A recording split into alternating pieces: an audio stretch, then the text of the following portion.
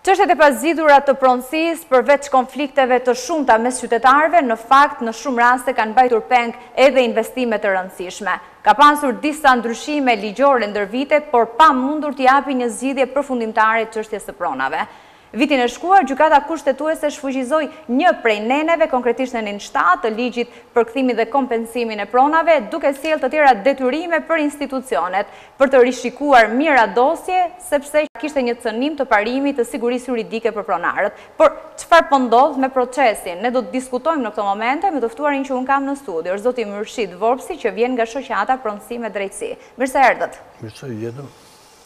Ishit pikërisht ju që e çuat çështjen në Gjykatën Kushtetuese dhe Gjykata Kushtetuese mori një vendim duke shfuqizuar nenin shtatë të ligjit sepse cënon parimin e sigurisë juridike për pronarët. Nga ai moment e deri tani, pra vendimi daton në mars të vitit që lamë pas, edhe pak e mbushet një vit. Çfarë po ndodh? Po, detyrimi i vendimit të Gjykatës Kushtetuese ishte që Qeveria brenda një periudhe gjashtë mujore duhet të kishte pregatitur dhe të kalonte në Parlament ndryshimet që do bëheshin ligjit si rezultat i vendimmarrjes së Gjykatës Kushtetuese, por edhe të vendimit të Gjykatës së Strasburgut. Detyrimi ligjor ishte që brenda shtatorit, tetë shtatorit më eksakt, kur mbaronte edhe periudha, qeveria t'i kishte bërë këto ndryshime.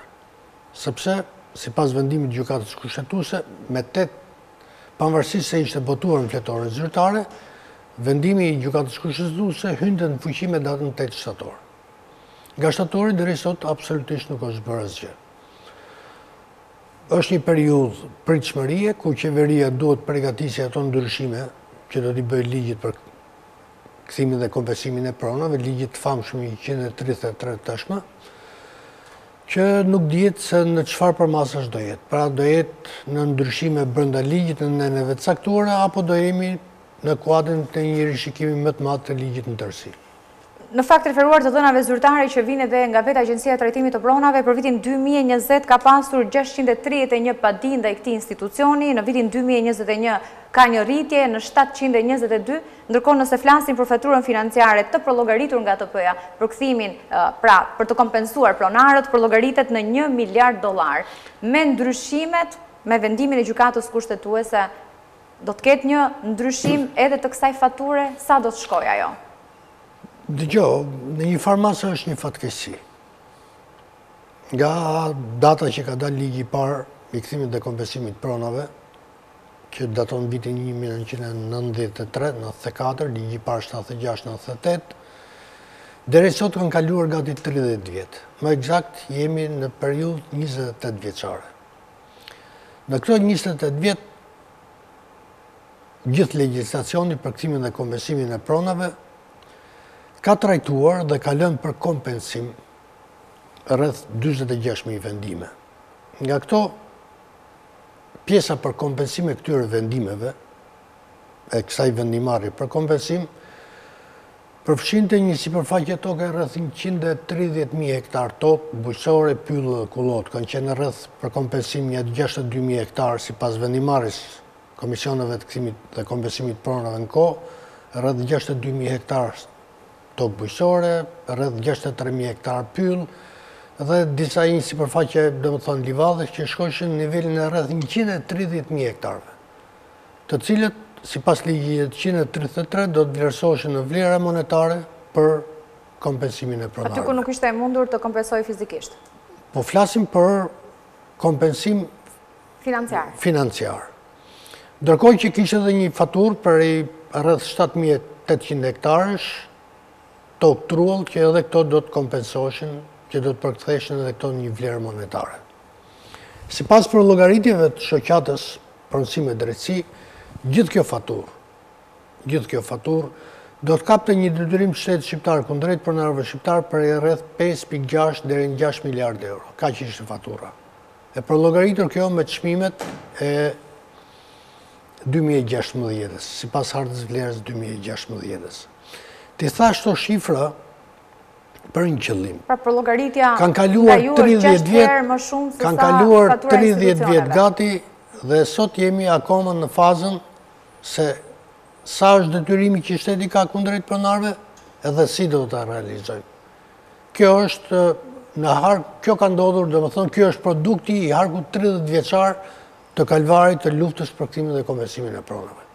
Është krijuar një situatë shumë e komplikuar, apo nga ana tjetër, ju nuk keni parë vullnetin e qeverive për ta zgjidhur është groteske, është groteske edhe për një arsye tjetër.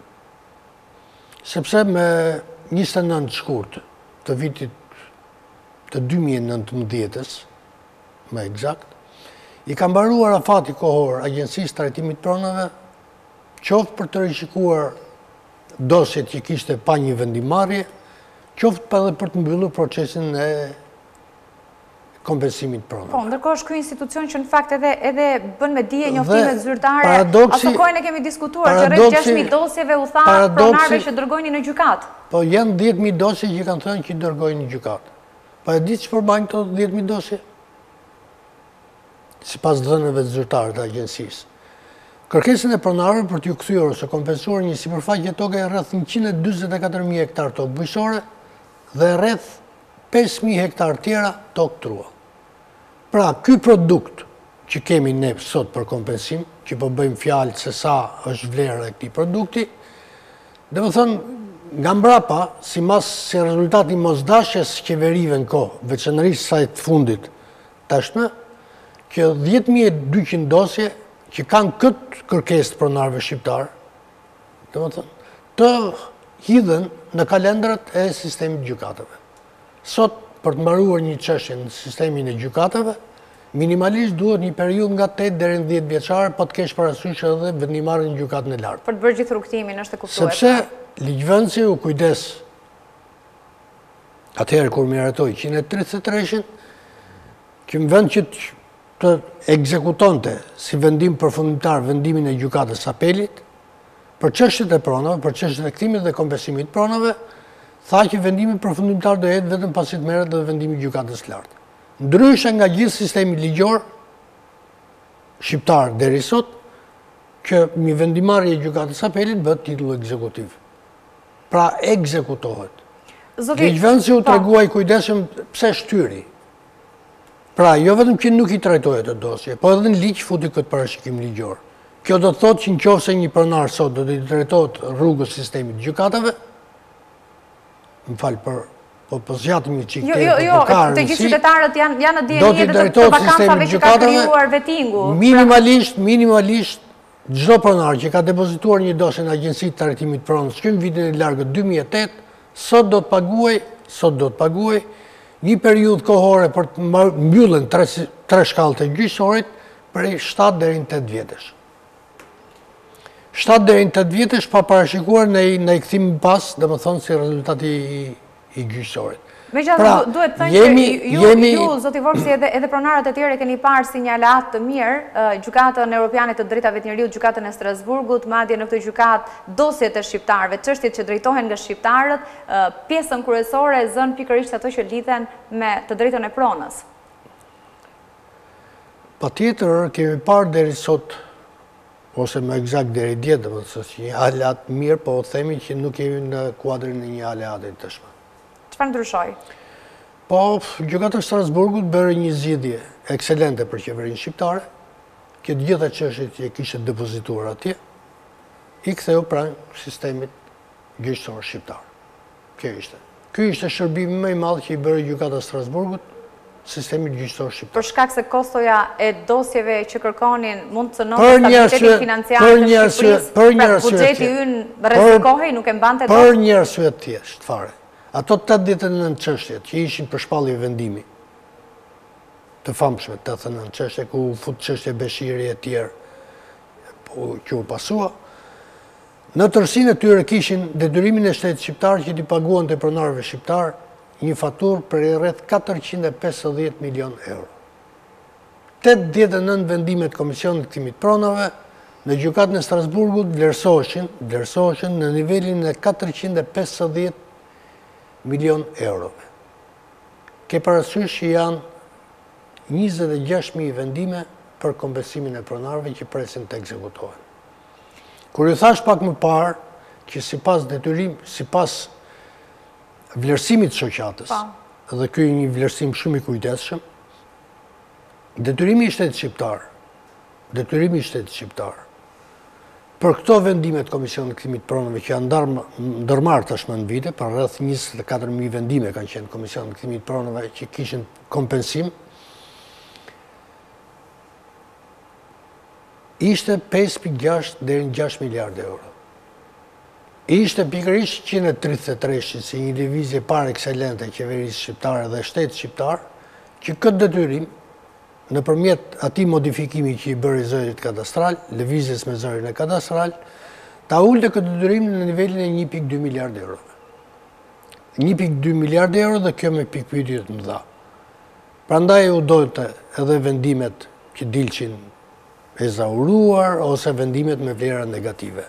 Që detyrimi që shteti shqiptar kishte ndaj pronarëve shqiptarë të ulej në maksimumin e mundshëm, një, dhe të paguhej në një kohë sa më të vonshme të jetë e mundur, e bën dy. Me vendimin e Gjykatës Kushtetuese, e cila sigurisht e konsideroi të papajtueshëm nenin shtatë të Ligjit njëqind e tridhjetë e tre për kthimin dhe kompensimin e pronave, çfarë ndryshon dhe sa pritet të përfitojnë, sa pronarë pritet të përfitojnë? Kjo është një shaka. Kjo është një shaka e keqe.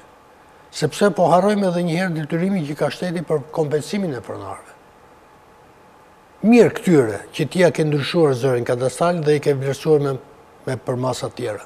Po të tjerëve, të cilët ia ke vlerësuar, nuk e kanë kundërshtuar, nuk e kanë ankimuar këtë vendim, pra kanë rënë dakord me shumën për të cilën ti i ke kompensuar dhe ti nuk ia kompenson. Nga dy mijë e gjashtëmbëdhjetë deri sot kanë kaluar gjashtë vjet. Afati kohor i këtij ligji, që të mbarojë procesi i kompensimit financiar ose kompensimit në tërësi të pronarëve, është 10 vjeçar. 6 vjet kanë kaluar, çfarë ke bërë? Asnjë gjë s'ke bërë. Sipas të dhënave që keni po ju, sa, nuk e bërë? sa, sa, sa përqind e pronarëve kanë mundur të marrin deri tani kompensimin? Sepse deri tani, deri tani për këtë periudhë 6 vjeçare, sipas ligjit, sipas ligjit, Mund të kërkojnë kompensim financiar, mund të kërkojnë kompensim financiar, vetëm ato që bëjnë një kërkesë për kompensim të përshpejtuar. Por duke hequr dorë nga një përqindje e atyre që duhet të marrin. Çka do të thotë? Dhe kjo është paturpësia më e madhe. Që në ligj të parashikohen të tilla akte makabre. është akt makabër. T'i thuash pronarit, detyrimin që unë kam ty, Pra borxhliu t'i thotë atij që i ka dhënë borxhin, unë të kam një borxh ty. Po këtë borxhin domethënë s'do ta jap ty. Ose do ta jap kur dua unë. Kjo është logika. Nëse ta paguaj menjëherë do heqësh dorë nga sa përqind. Dhe atëherë, a e kanë a e kanë a e thotë, në qoftë se don shumë. Në qoftë se shikoje se është paradoksale. Në qoftë se e kërkon 20% E kërkon kompensimin të menjëhershëm. Të menjëhershëm brenda një viti ti do të marrësh vetëm 20% të vlerës. Dhe do heqësh dorë nga 80%-shi tjetër. Pra në qoftë se do marrësh 100 lekë, Nëse të takojnë 100, të takojnë 100, do marrësh 20 lekë, edhe 80 tjera do ia falësh shtetit. Pse? A ka pasur pronarë që e kanë pranuar këtë zgjidhje? Shumë pak. Shifra mund, domethënë shifra e pronarëve që kanë pranuar një zgjidhje të tillë është me numrat e dorës. Nuk dua t'i hyj në hak kërkujt, kanë pasur probleme të tjera, si duket, që kanë detyruar, që janë detyruar të shkojnë deri një zgjidhje të tillë. Po kështu ishte edhe parimi i thjeshtë, parimi ligjor, gjoja, që në qoftë se i kërkonte 20% të vlerës, do të heqësh dorë nga 60 përqindshi, kurse 40 përqindshin që të ka ngelur, do ta marrësh në këste të barabarta në harkun e 4 viteve. Edhe kjo nuk është shfrytëzuar. Pra, ose pak. Mendoje sot, mendoje sot, ti je një pronare. Shteti të ka 100 lek borxh. Edhe të thotë, i ka ngelur shtetit edhe 4 vjet De facto, nga koha që shteti duhet të japi para ty, me ligj, ë?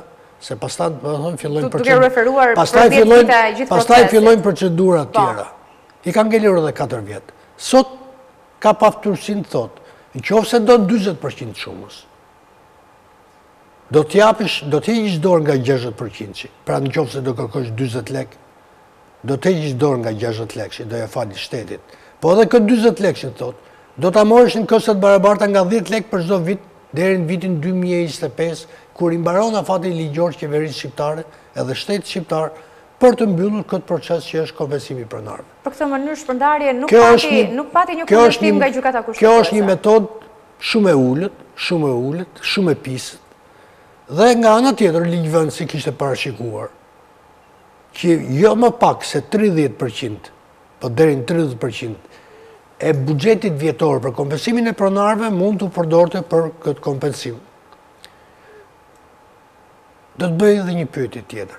Ligji ka detyruar shtetin shqiptar, ose të paktën me ligj shteti shqiptar, mori përsipër, që të vinte në dispozicion të procesit të kompensimit të pronarëve për këtë periudhë, dhjetëvjeçare, pesëdhjetë miliardë lekë. Pra, pak a shumë i binte si mesatare, çdo vit, shteti shqiptar vinte për kompensimin e pronarëve, një shumë 5 miliardë lekësh. Kanë kaluar 6 vjet. Apo jo? Ku kanë shkuar, pyetje më e thjeshtë, 30 miliardë lekë që ishin për kompensimin e pronarve. Janë të rimbursuar aty për t'u përdorur më vonë, apo janë përdorur për qëllime të tjera. Sa kohë që ligji detyronte, ligjvënësi detyronte, shtetin shqiptar dhe qeverinë shqiptare, që për këtë fond 30 miliardë lekësh për këtë periudhë 5 vjeç, 6 vjeçare, vetëm 30% të shpërndante, maksimumin 30%, pra tridhjetë, dy pikë shtatë miliardë lekë mund të përdorte, sepse përdori vetëm kompensimin me procedurë të përshpejtuar dhe kompensimi normal nuk është futur akoma në lojë si skemë. Edhe sot që flasim, nuk është futur akoma në lojë si skemë, ndërkohë që shtetin shqiptar dhe Agjencinë e Trajtimit Pronës nuk e pengon asnjeri që të bëjë rimbursimin natyral të gjithë atyre pronarëve Që kanë një shumë për të cilën nuk kanë ankimuar dhe për të cilën kanë rënë dakord. Po çfarë roli ka sot Agjencia e Trajtimit të Pronës? Duke qenë se funksionin zyrtarisht e kishte deri në dy mijë e nëntëmbëdhjetën, dhe në momentin që do të ketë një ndryshim ligjor, sipas edhe vendimit të Gjykatës Kushtetuese, cili është institucioni që do ta zbatojë, ku do të drejtohen dhe si pronarët? Çfarë rrugëtimi do të ndjekin? Atëherë, Agjencia e Trajtimit të Pronës me rolin që i ka dhënë Ligjvënësi është thjesht një pagatore. Aktualisht, ka një funksion? Është një pagatore. Çfarë bën aktualisht? Atëherë, agjencia, agjencia... Përveç se ka një lumë për tishë për kundrejtësin institucionit Agjencia, megjithëse luftoi, megjithëse luftoi shumë, arriti me sukses pas tre vitesh, të mos shqyrtonte asnjë nga ato 10.000 dosjet që të thashë. Megjithëse pronarët kishin paguar secili nga pronarët të atyre dhjetë mijë dosjeve, si një faturë, u konsiderua absurde në fakt sepse ishin depozituar, ishin pranuar dosjet nga institucionet e shtetit. I kemi diskutuar gjerësisht. Bukur fort, nuk e bëri këtë punë. Agjencia. Agjencia çfarë ka marrë për sot përsipër me ligj? të shpërndajë paratë e kompensimit, se këtë detyrë i ka dhënë ligji, pra prandaj thashë që është thjesht një pagatore, dhe e dyta, pa pi kuptimi. Kush do ta bëjë rivlerësimin me ndryshimin ligjor, zoti Vërsi? Po kjo agjenci, edhe ky ndryshim maksimumi hanë, maksimumi i ka hangër agjencisë një javë kohë, sepse databasin, agjencia e ka pas të pregatitur. Për secilin vendim komisionit të kthimit të pronave. Sa është sipërfaqe për kompensim? E para, për sa i takon vlerësimit, në cilën zonë kadastrale është, sot aktualisht, është edhe harta që vendimit komisionit që tregon një gjë të tillë, dhe sa është detyrimi që shteti shqiptar duhet të kishte kundrejt tij. Pra, me ndryshimet përllogaritet rreth 150 milion euro nga të dhënat që janë bërë me dije deri tani. Apo është më shumë? 150 milion euro agjencia pretendon, pretendon agjencia, e pakta ky është materiali i raportit vjetor që agjencia i ka çuar parlamentit dhe qeverisë, domethënë, për aktivitetin e saj, që do të ndryshojnë këto vendime të cilat kanë pasur një vendimarrje me vlera negative ose ezauruar dhe që si rezultat i vendimit të gjykatës kushtetuese do të kthehen. Agjencia i ka vlerësuar 4000 vendime në gjykimin tonë numri i vendimeve që kanë pësuar këto ndryshime është shumë më i madh, megjithatë sa kohë që agjencia ka publikuar një shifër, duhet t'i besojmë asaj deri në fund. kur të kemi të dhënat e sakta, po gjykimi jonë është që vendimet që kanë pësuar ndryshim, si rezultat i ndryshimit zërit katastral, janë shumë më tepër se 4.100 vendime që pretendon agjensia. Sa janë? Keni një përlogaritje ju? Në gjykimin tonë ka qenë në nivelin e 8 dhe 9.000 vendimeve, pra që kanë një ndryshim të tillë, të zërit katastral. Dhe, po bëj edhe një ndërhyrje, sepse kjo është për grotesk tamam, ligji që kishte këtë mekanizmin e artë, thonte, te klasifikimet kush quhet tokë truall, që tokë truall quhet sipërfaqja e tokës që ka qenë e tillë në momentin e shpronësimit. Pra që në momentin e shpronësimit, që po marrim vitin 1945, Domethënë, kjo, kjo tokë, domethënë, ka qenë brenda vijave kufizuese të qendrave të banuara.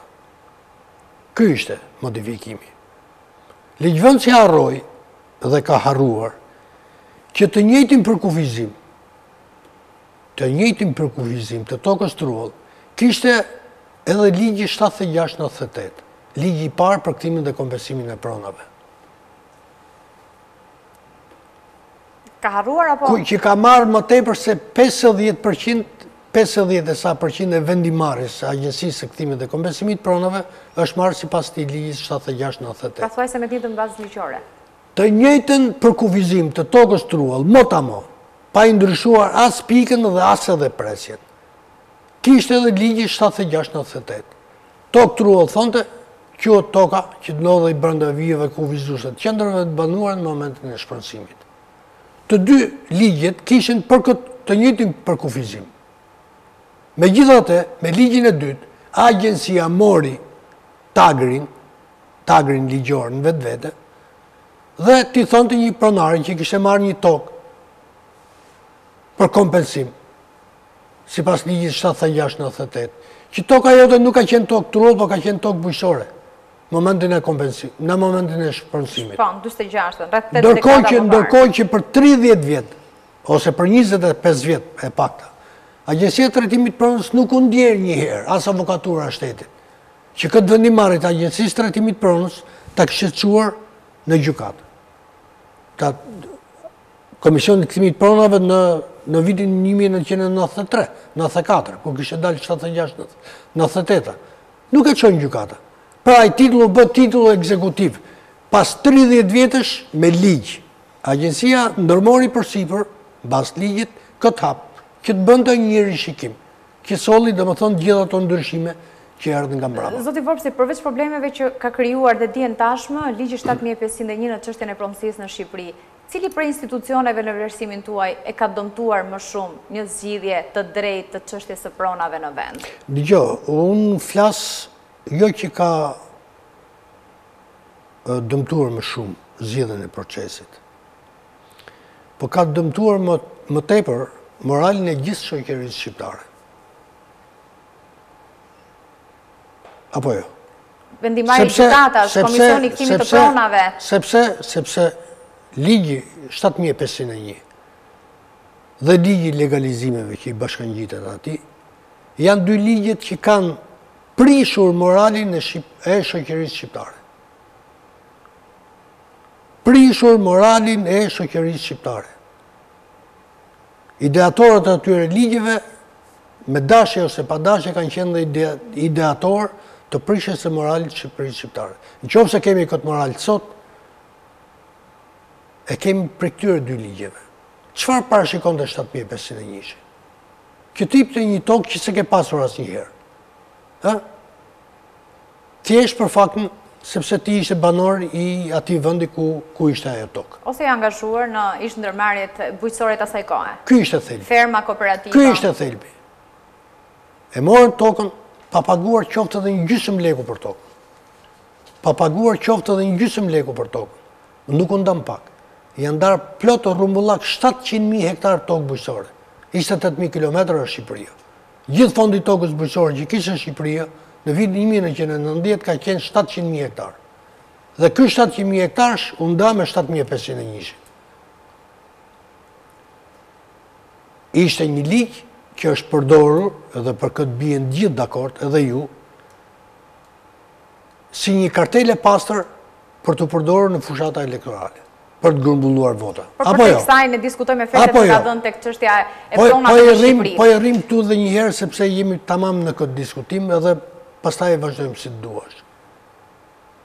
Kush ishte morali i këtij ligji? Mjafton ta rregulloje me dikënd, apo jo, me komunën në rastin konkret, dhe të merrje një copë letër, një AMTP, të bënte pronar. Të të bënte pronar. Edhe sot bën pronar. Nuk keni konstatuar abuzime nga pushteti vendor në atë kohë? Dëgjo, abuzime... Edhe për mënyrën se si është zbatuar ky ligj, që sigurisht... Atëherë, atëherë... Në thelb jo e prekte që i cenonte pronarët e vjetër. Të të bëj dhe një pyetje të vogël fare?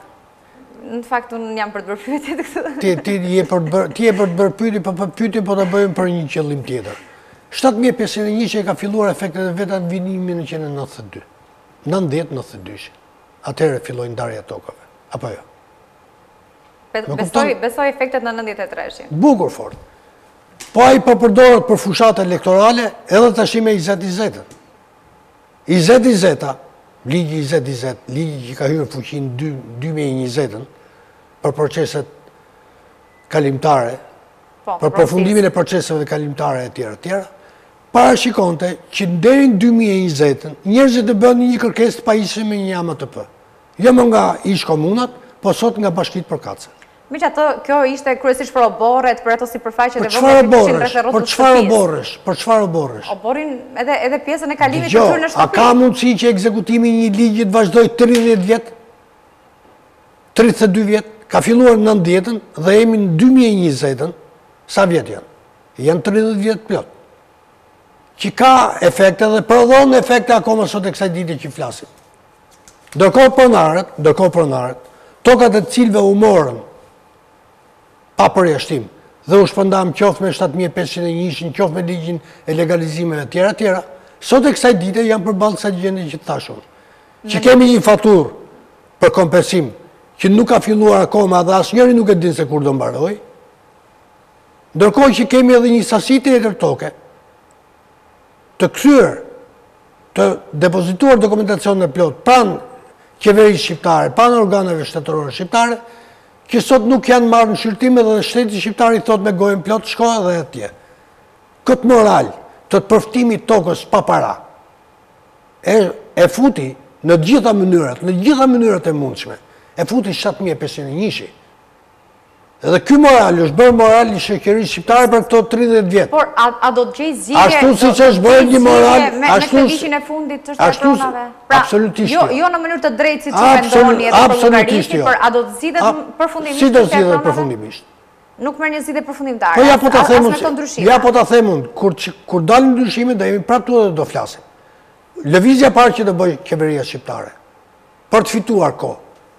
Do thotë, në qoftë se me njëqind e tridhjetë e treshin kishte prioritet të parë, ishte kompensimi financiar dhe pastaj futeshin kompensimet e tjera për nga radha, fiziku e tjera tjera, të siguroj që me njëqind me ligjin e ri që do dali, do të ndryshoj domethënë do të jetë prioritet kompensimi fizik përpara dhe pastaj pjesa që do të më ngelet ose një pjesë tjetër do jetë për kompensim financiar.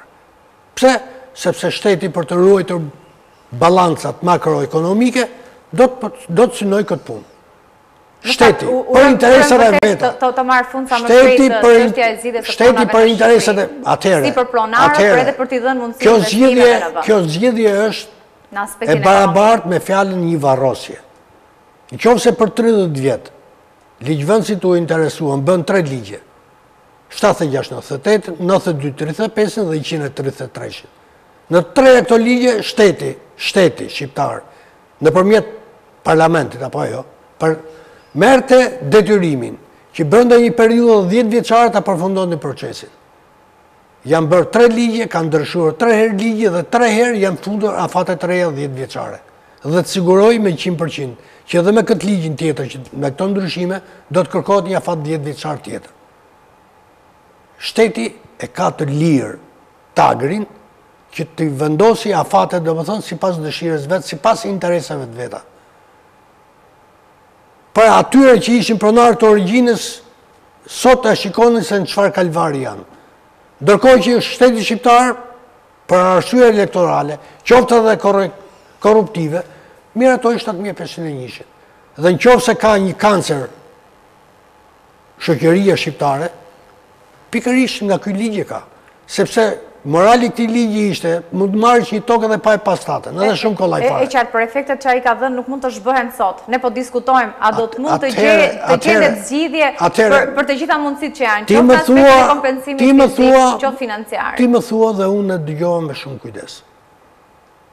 Në këtë gjendje që jemi sot... Edhe ju nuk besoj se mendoni se mund të zhbëhen të gjitha veprimet që pasojat që ka dhënë ai ligj tashmë. Në këtë gjendje që jemi sot, nuk mund të zhbëhen më gjërat. Do të bëj një pyetje.